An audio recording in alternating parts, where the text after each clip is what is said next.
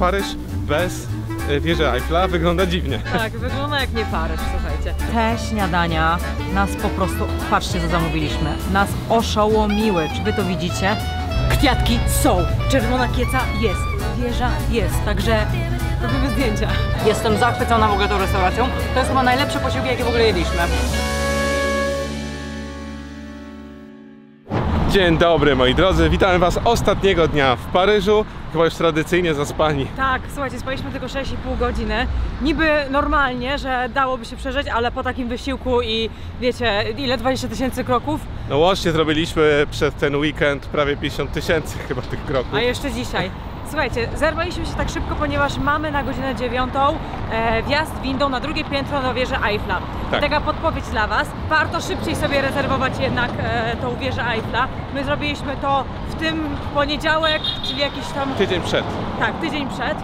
E, No i już nie było niestety normalnych, racjonalnych biletów o fajnej godzinie. Stąd dziewiąta i stąd tylko drugie piętro, bo o, na samym szczycie to zapomnijcie w ogóle. My mamy dzisiaj samolot o godzinie 21, także chcemy wycisnąć z dnia co się da, Tak więc jest. na pewno y, nie chcę nic zapowiadać co będzie w tym vlogu, bo nie za bardzo wiemy co nam się uda zobaczyć. Na pewno uda nam się pokazać wam jakieś instaspoty, gdzie porobić fajne zdjęcia. Jakieś pamiątki chcemy kupić i tam obiecaliśmy parę osobom, że coś przywieziemy, więc, Tak, tak, więc tak. też musimy jakby to zrobić. No zobaczymy co dzisiaj wyjdzie, a na razie wieża Eiffla, wjeżdżamy i... A, no i bilety przez internet, nie? Tak. Tak, tak, tak, oczywiście. Bilety kupione przez internet.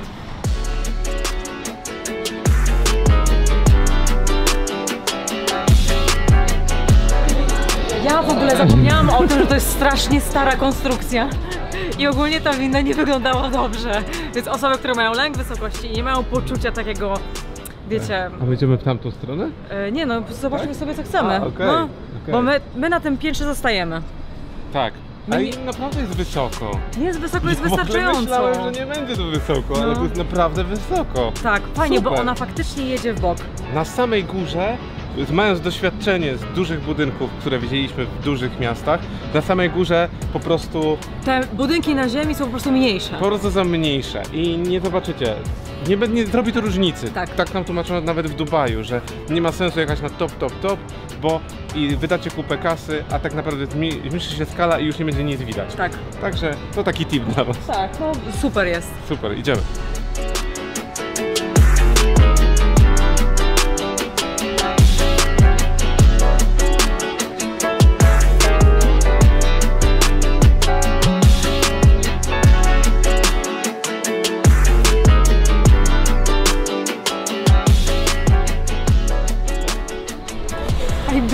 Sami w windzie powrotnej, fajnie. Fajnie, fajnie, bardzo nam się podobało, aczkolwiek Paryż bez e, wieży Eiffla wygląda dziwnie. Tak, wygląda jak nie Paryż, słuchajcie. Tak. Ale ten, ale bardzo, bardzo fajnie. Wystarczające jest to drugie piętro. Nie mieliśmy potrzeby, żeby e, iść e, tam na dalej, wyżej, bo już było wysoko. Dokładnie, dokładnie. A exit to tam, Tak. w drugą stronę musimy iść. Co ciekawe, mamy checkout w hotelu, więc idziemy się spakować i zabierzemy Was ze sobą na śniadanie, no i kolejne rzeczy. Tak jest.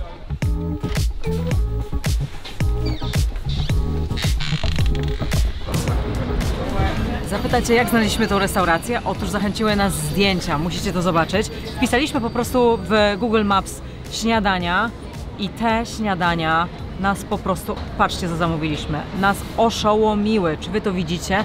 Mamy nadzieję, że to będzie świeże, pyszne i po prostu o, pięknie, fantastycznie. Potem będziemy mieli siłę na to, żeby robić pełno fajnych zdjęć. E, Nazywa się Cozy. Mają 4,3 na 1675 opinii. Także to jest naprawdę bardzo dobry wynik. Najbardziej instagramowe śniadanie jak do tej pory w Paryżu i próbujemy, słuchajcie, rozcinamy to jajko, będzie to wyglądało zjawiskowo. Klaudia szykuje drugi telefon. Tak to wygląda pięknie. O, a jak będzie smakować? Na pół, słuchajcie, idealnie, bo my jak zawsze musimy się podzielić, więc próbujemy. Najpierw ja swoją część.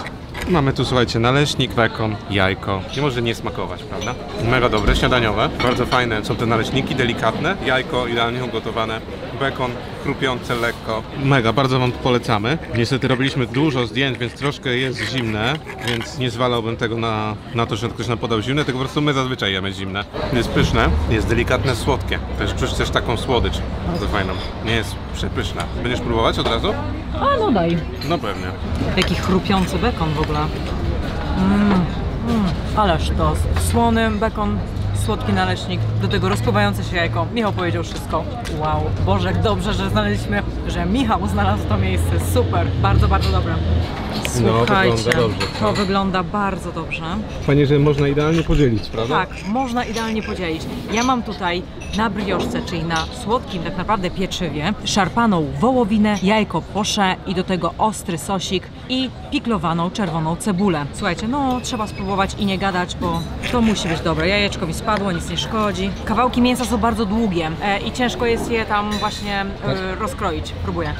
Soczyste, aromatyczne mięso, delikatnie pierne, ale delikatnie pierne, nie ostre. E, I do tego ta słodka bułeczka. Pierne, czyli pieprzne.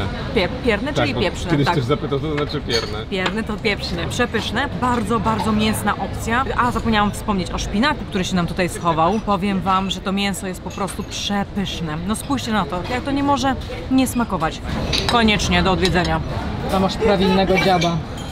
No, to jest taki prawilny gryz. Dobre, ale mocno mięsne i trochę mi smakuje, jakby ktoś położył gulasz na e, tosta. Śniadania wolę bardziej takie tradycyjne, a to jest takie mocno wyraziste właśnie mięso, tym chlebem, no tak jakby mi ktoś położył gulasz, ale jest pyszne. Polecamy tę miejscówkę. Jemy, słuchajcie, bo mamy zimne, talerze wyczyszczone, słuchajcie, jeszcze kawusie będziemy dopijać, ale śniadania tutaj we Francji na razie wymiatają. Niech to będzie najlepszy komentarz na to. Tak. Ja bym gdybym mogła, to bym wylizała jeszcze ten talerz, ale mi nie wypada. Dokładnie, także jeśli nie widzieliście wczorajszego odcinka i nasz restauracyjny zawód, tam było ciężko, no. a tu jest wyśmienicie. Słuchajcie, Road de Montesy, czyli nasza pierwsza miejscówka. Bardzo, bardzo znany instagramowy spot. Przepięknie widać. Wieżę Eiffla, ja widzę tam czerwone kwiatki. Mijaliśmy jeszcze e, od tamtej restauracji pola marsowe, ale my zrobiliśmy wczoraj sobie bardzo fajne zdjęcie, więc dzisiaj już tego spotu, ten spot omijamy, ale wy oczywiście na polach marsowych również możecie sobie fotkę z wieżą Eiffla zrobić. Ale, Ale lepsze są idziemy. wieczorem, nie? O wiele na lepsze pol- są wieczorem. Słuchajcie, wieczorem, jeżeli będziecie mieli szczęście do nieba, tak jak my, że było takie piękne, piękny zachód słońca, to po prostu sztos, foty. Ale teraz idziemy, widzimy, że są Tu. kolejki. A, ludzie stoją? Okej, dobra. No ale to jest normalne, zawsze w takich miejscach jest dużo ludzi, chociaż nie ma aż No, patrzcie jak to wygląda. tak. Wow. Cie- Kwiatki są, czerwona kieca jest, wieża jest, także robimy zdjęcia. A ja mam najtrudniejszą, a ja mam najtrudniejszą robotę. Jeszcze pokaż, bo ja mu zostawiłam tam rzeczy. Słuchajcie, to jest A, no film, tak, tak. rzeczy, wiecie, to ja to mam zawsze najtrudniej, dobra. Właśnie czytamy sobie komentarze, które pojawiają się pod najnowszym filmem, czy pod starymi, jak idziemy do kolejnego, kolejnej miejscówki. I pojawiają się komentarze w stylu, że e, mamy kanał bardzo podobny do Macieja Je. W dużej mierze taki zarzut zawsze często się pojawia. Tak. Słuchajcie, oni robią świetny, mega content, robią to po swojemu. Wiecie, posiłek przy restauracji wygląda tak samo. Siedzą dwie osoby i próbują, więc bo ja mogę, możemy stać na głowie, żeby było coś innego czasem, ale to też nie jest tak. My na przykład przestaliśmy Maćka oglądać z tego względu, żeby właśnie nie inspirować się niczym. Yy, oni mają swój styl, my mamy swój styl, czasem pewne miejsca mogą być podobne. Wiecie, często się też zdarza tak, że ktoś gdzieś pojedzie, My mamy na przykład, wiecie, teraz jest czerwiec, u nas trwa seria z Costa Venezia, a byliśmy w Pradze, teraz jesteśmy w Paryżu, mamy materiały z Stambułu i na 100% będzie tak, że ktoś pojechał do Stambułu i akurat wrzuci materiał ze Stambułu. Dzień przed naszą publikacją. No tak tak, się będzie, też się no tak zdarza. No niestety, wiecie, jest tylu twórców teraz, tyle różnego kontentu o jedzeniu, O o, podróżach i w ogóle jeśli chodzi o formę vlogów. To jest tak jak kiedyś dobrze to powiedział Krzysiu Gonciarz, że jak on zaczął vlogować, to ludzie mu zarzucali, że tam e, bardzo ma podobne do Casey'ego Neistata Tak. swoje materiały. No ale to jest tak jakby powiedzieć, że fakty drżynają od wiadomości, a wiadomości drżynają od informacji na, w Polsacie. Wiecie, to po prostu chodzi o format. Vlogi mają to do siebie, recenzje restauracji mają to do siebie, że mogą gdzieś tam być podobne. Nikt tego nie robi umyślnie, bo nie zależy nikomu nam. A poza tym, słuchajcie, co my tam, małe żuczki, na to ogląda parę tysięcy, No ich setki tysięcy, więc naprawdę, my to jesteśmy Odsyłamy Was do kanału. Maciej, jeśli jeszcze nie znacie, to koniecznie zobaczcie, bo Tak, oni tak no. mówią o jedzeniu. A my tak czasami No mamy- mamy- zrobić dokładnie. to po łebkach, My mamy swój jesteśmy- styl. Tak, my jesteśmy Dokładnie. użytkownikami restauracji, nie ich No, krytykami kulinarnymi. No dokładnie, także wiecie, no. E, także do tych osób, które tam piszą i mają jakieś tam ból dupy, no to przepraszamy, no sorry. No. Słuchajcie, tutaj też można zrobić bardzo fajne zdjęcie. Ja nie wiem, czy ono wyjdzie, A, barierka? bo jest barierka, ale próbujemy. Moi drodzy, kolejna miejscówka. Tu naprzeciwko jest karuzela. Przeszliśmy przez most i tutaj między tymi dwoma drzewami macie piękne ujęcie na wieżę Eiffla, także tutaj siadam na murku i zaraz zrobimy jakąś fajną fotę. Trzymajmy kciuki. No, jeśli chodzi o to, czym robimy zdjęcia, to robimy je zwykłym telefonem. Słuchajcie, nie robimy dużym aparatem, nie zmieniamy ustawień, które mamy tutaj do nagrywania wideo, tylko po prostu zwykły smartfon. Często, osób, często e, ludzie się dziwią, że są robione tylko smartfonem te zdjęcia, no ale nie, da się, da, Da się, się. można zrobić i chyba, ja miał problem chyba zrobienie takim profesjonalnym. Ja też, ja już tak jestem nauczona tych Samsungów, obojętnie czy mój, czy Michała, to Tak, tak, ciśniemy. Super są. Tak, jeszcze jedna miejscówka na górze, tam też dużo osób. Może nam się uda we dwójkę, bo ja mam problem z takimi miejscówkami, bo to co facet, O, no właśnie to baba gdzieś tam lata z tą sukienką, kumacie o co chodzi, No. nie? A chłop to musi być, widzicie, łuk Wiecie, triumfalny albo, no, no nie dokładnie, wiem. nie? Ja mam taki problem, żeby zrobić sobie tutaj na murku, kurde, przybierz Eiffla, nie? Tak, taki, ruch uliczny, coś tam, a no, ale tak, no, ale mamy miejscówkę jedną i tam spróbujemy zrobić sobie zdjęcie we dwójkę, bo mamy statyw i pokażemy wam. Nie, stoją dziewczyny i czekają na zdjęcia. No, a jak? Czyli jest to punkt, czyli nic odkrywczego, moi kochani. W tamtym punkcie aż się kolejka ustawiała. Tak, tam bardzo dużo ludzi, znaczy nie bardzo dużo, ale tacy wytrwali. Widać, że Tak. e, instagramerzy e, się zbierali. Dokładnie, dokładnie. My idziemy do kole... ostatniego miejsca, w którym można zrobić fajne zdjęcie z... przy restauracji. I dogadaliśmy ciała, bo musieliśmy się cofnąć.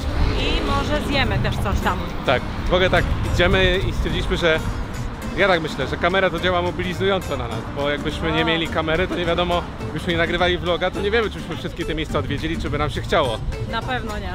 A tak to wiecie, mamy kamerę i chcemy pokazać w materiale, więc jesteśmy zmobilizowani, żeby e, ruszyć i, Tak. i coś jeszcze ponagrywać. Dzięki, bo robimy dzięki wam to. Tak, dzięki wam, działacie motywująco na nas.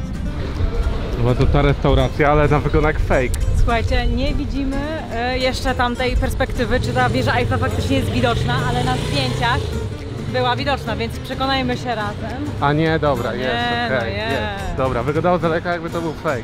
Tak. No udało, zrobiliśmy fotę. Tak, bardzo ładnie. Robiliśmy ją na migi, że tam, tu, przejdź przodem. Także Ale żeby tak wyszło, to trzeba tutaj stać, nie? Po tej Tak. stronie.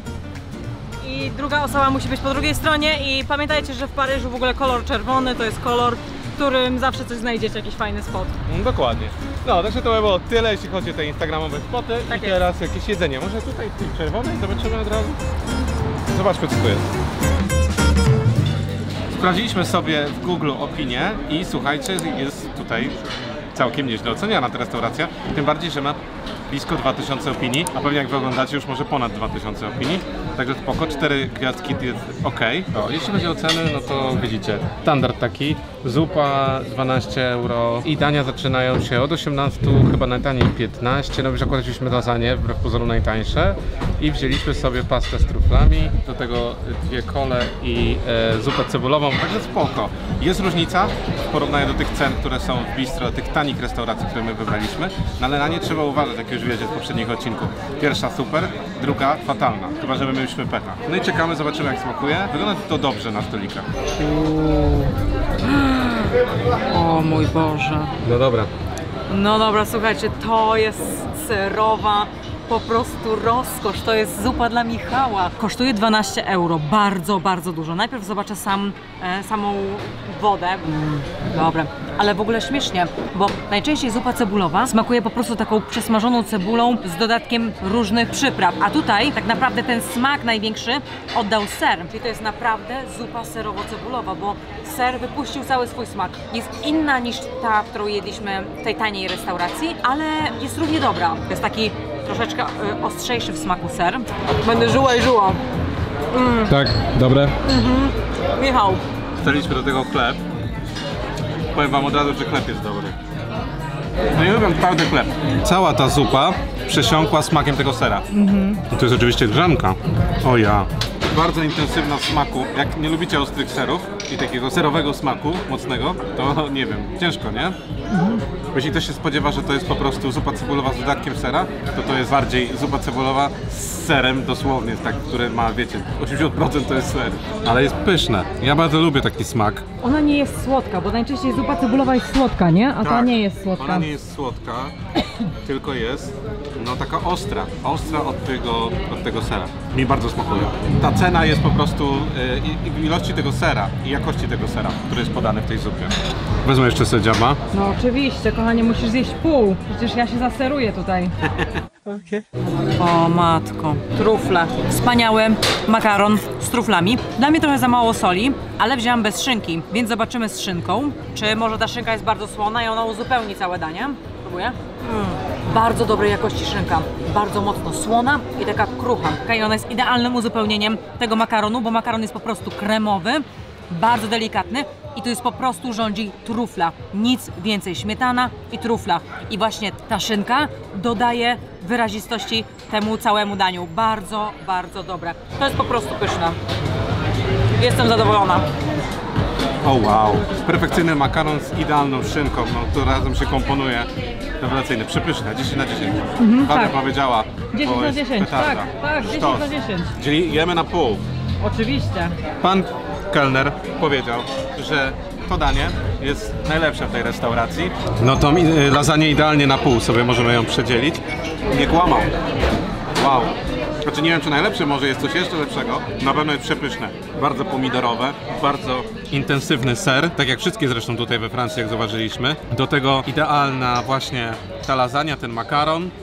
Wszystko razem ogień. Czuć jakość po prostu tego dania. Że nie jest to zrobione z byle jakich składników, no tylko dobre składniki i dlatego to danie smakuje. Tak jak powinno smakować. 10 na 10. No zobaczcie, jest rewelacyjne. Po prostu nie, nie siłujecie się z tym daniem. Sama przyjemność jedzenia. Spójrzcie na ten makaron, sos pomidorowy i wszystko czujecie. Czujecie makaron, czujecie pomidory, czujecie ser i czujecie mięso, które jest wysokiej jakości. To wszystko razem sprawia, że to danie jest bardzo smaczne.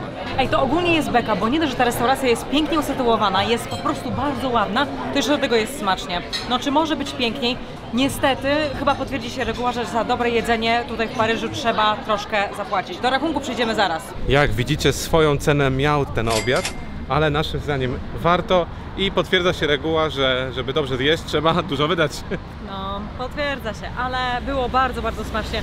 Fajnie, że akurat takie kulinarne mamy pożegnanie z Paryżem, a nie wczorajsze na przykład rozczarowanie. Dokładnie. A teraz jedziemy pod katedrę Notre Dame, aby kupić sobie jakieś pamiątki. Tak, tak. E, obiecaliśmy też, że przywieziemy tam kilka rzeczy. Twojej mamie przecież. Tak, kubeczek. Mamo, kupię kubek. E, także no i lecimy i potem chyba od razu na autobus. tak.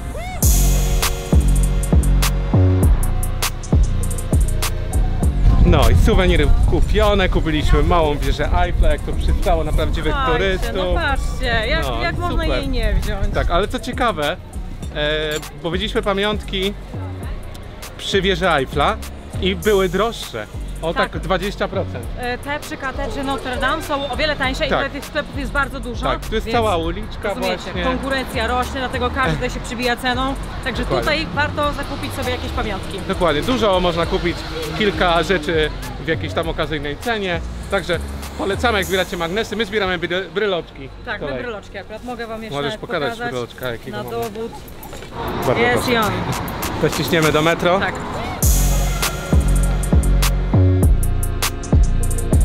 To już jest taka mała tradycja. Tak, że y, pokazujemy Wam ceny w sklepach. Jeżeli planujecie budżetowo wyjazd, to my Wam teraz pokażemy, ile kosztują takie gotowe rzeczy, żeby na przykład nie iść w restauracji, a chwycić sobie kanapkę czy pączka i ruszyć w drogę. Także Dokładnie, chodźcie. taki podstawowy podstaw. Carrefour jest- City wybraliśmy. Dokładnie. Czyli taki jak ekspres chyba Carrefour. Tak, coś takiego, po prostu takie. Carrefour. Idziemy. Także mamy od euro 70, 2 euro, jakieś takie tortille plackowate 4 euro. To już dużo. To już trochę dużo jak na, na takiego gotowca, ale tutaj widzicie znowu mamy taki też placek za 2,19. Spoko. Nie jest, te ceny są naprawdę dobre, jeśli chodzi o, o te kanapki. Małe chipsy euro 31, a duża paczka, to wam zaraz powiem, też 2 euro z reguły. 2 euro. Tutaj widzicie słuchajcie, sałatki to już jest o, o wiele gorsza sprawa. Tu mamy takie gotowe lunchboxy, które kosztują 6,60. Moim zdaniem już lepiej jest zjeść coś na mieście, bo e, wiecie, to jest gotowiec zimny, musicie poczekać aż on odtaje, że tak powiem. Tutaj mamy sałateczki za 3,16. E, no Pizza mrożona, możemy pokazać pi- pizzę mrożoną. Pizzki. A, to są te tosty. tosty To są za, tosty. Za 2,60. No ale musicie mieć piekarnik albo No mikrofalę. właśnie, to też tak bez sensu trochę. Ale pizzkę mamy mrożoną, słuchajcie, taką dużą, tutaj o 3 euro, czyli podobnie jak u nas. Tak. Eee, tutaj Wędliny, Tak, słuchajcie, wędliny. widzicie ceny wędlin.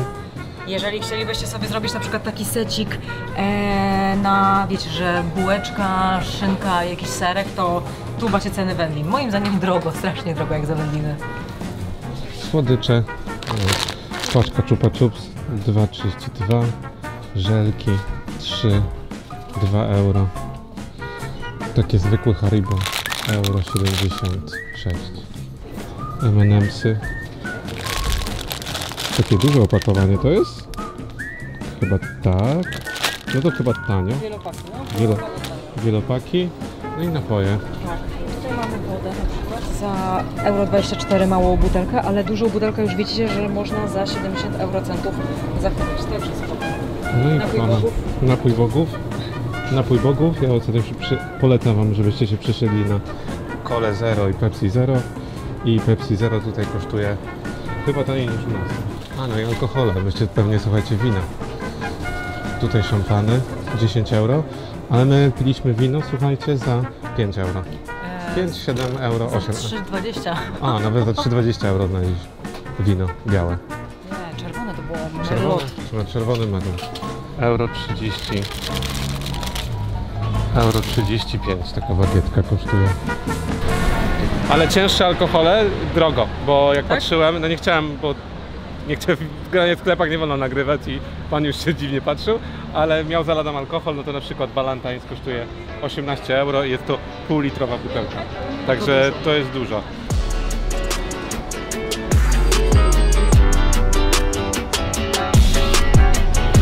Jesteśmy już na lotnisku, jechaliśmy długo, bo troszeczkę ponad dwie godziny, więc przygotujcie się lecąc, e, jadąc na lotnisko, że mogą być opóźnienia, mogą być korki. E, słuchajcie, wycisnęliśmy wszystko. Ile się da, Tak. bo mamy odlot za dwie godziny. Jest godzina 19.30. Trzy dni bardzo intensywne, dużo się działo. Oczywiście zrobimy dla Was podsumowanie. E, także. e, No, mamy co? nadzieję, że Wam się podobały dzisiejsze potrawy, bo były takie instagramowe, także idealne pod zdjęcia. Tak. No i zostawcie nam dzisiaj komentarz wieża Eiffla, bo dużo Wieża było jej. Dużo było wieża Eiffla, tak. Dziękujemy Wam serdecznie. E, no i co? I Na dole widzicie ile dzisiaj wydaliśmy i do zobaczenia albo w podróży. albo w restauracji. Cześć. Słuchajcie, jak się idzie do kolejnego spotu, to się mija taki piękny tutaj jakaś rzeczka, coś takiego, bardzo ładnie i przyjemnie potrafią wykorzystać takie części wspólne, bo to jest normalnie osiedle